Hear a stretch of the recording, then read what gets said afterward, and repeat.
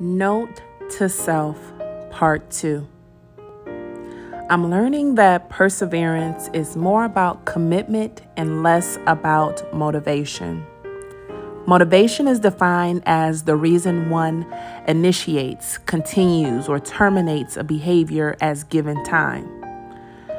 To put it simply, motivation is an impulse or willpower that inspires us to take action.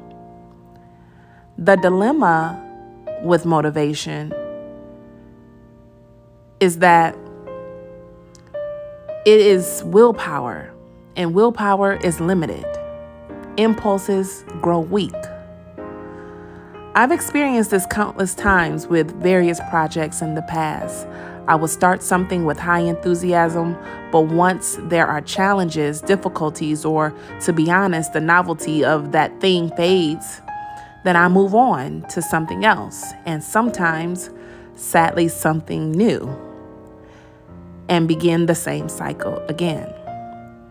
But commitment is different. When you commit, you, you immerse yourself into obligation.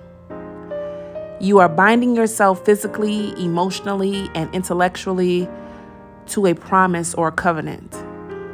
When you commit to your family or a task or whatever, it means you are following a plan even if you do not feel like it that day.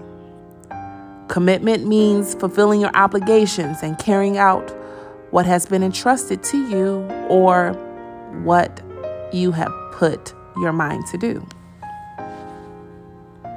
In order for me to persevere, which means keep going despite difficulty or delay, I have to first commit. But what's the best way to create commitment?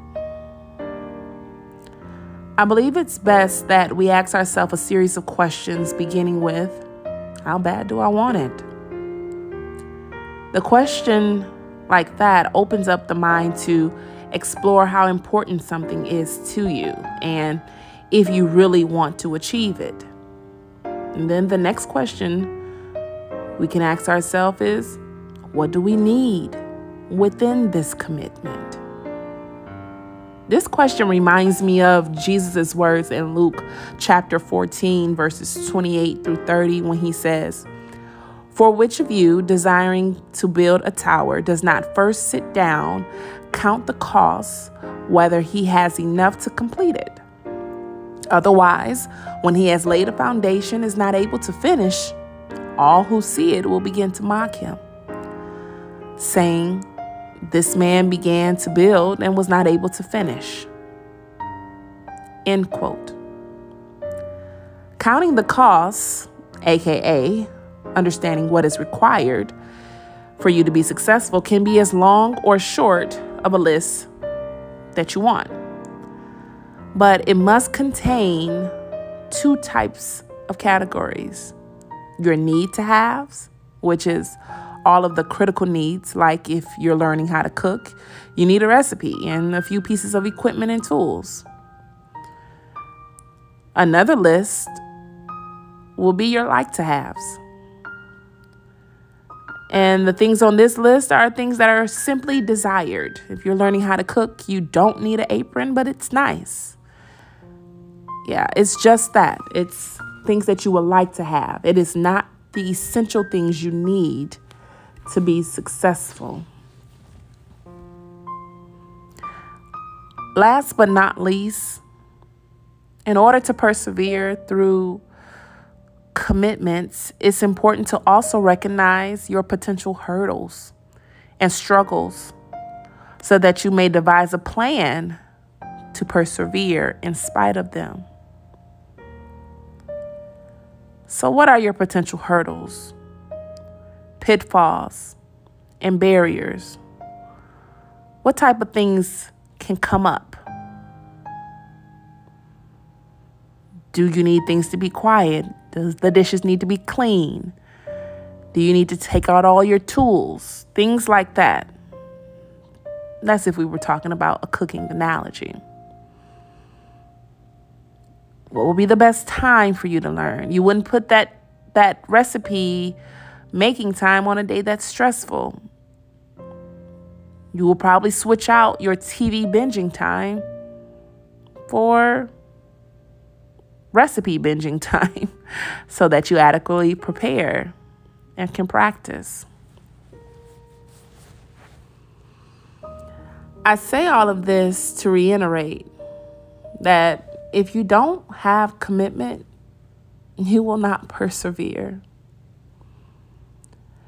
They always have and always will go hand in hand. Peter Drucker said this amazing quote. He said, Unless commitment is made, there are only promises and hope, but no plan. I personally believe that. For myself, I really would like to believe and to be remembered and known as someone who perseveres. That no matter ch- what challenges may come my way, what hurdles and sometimes barriers and distractions, that I stay committed to the goals that are set before me.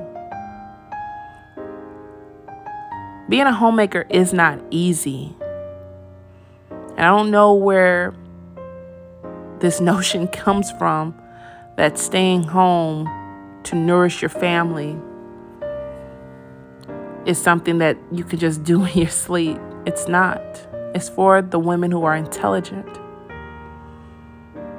the women who decide that they will use their mental capacity and their resources and their knowledge to bring up a successful family an amazing household. And this isn't only limited to women to be homemakers' husbands. It takes a lot to do that too. But within all of these jobs, perseverance is necessary to not give up, to create plans to think things through, to know what is required. You can take that to the bank. I believe God is calling us to remember that we can do hard things. Everything doesn't have to be simple, easy, all the time that just because it doesn't feel good at the moment doesn't mean it's not for our good. That some things and all great things comes with work. Work that requires commitment. If you're a parent, commit and not commit halfway, commit all the way. If you are a spouse, commit. Don't commit halfway. Don't commit based on what your spouse does. Commit completely for yourself. If you are creating a um, a project or have an assignment or or are just learning a different skill or task. Learn to discipline yourself to commitment. You can do hard things. It's nothing wrong with settling in on that notion taking breaks when needed, but coming back, devising plans, learning what works.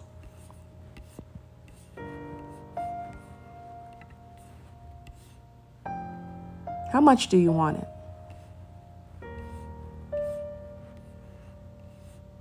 How much do you want it?